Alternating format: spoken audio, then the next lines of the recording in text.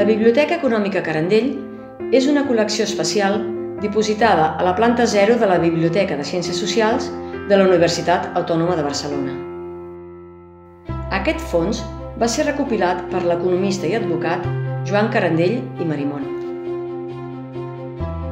Hi podreu trobar documents que van des del segle XVI fins a principis del segle XX.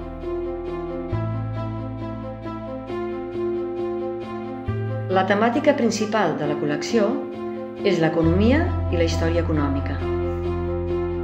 Una part del fons està digitalitzat i a l'abast de tothom. Si vols més informació, pots consultar la pàgina web de la Biblioteca Carandell.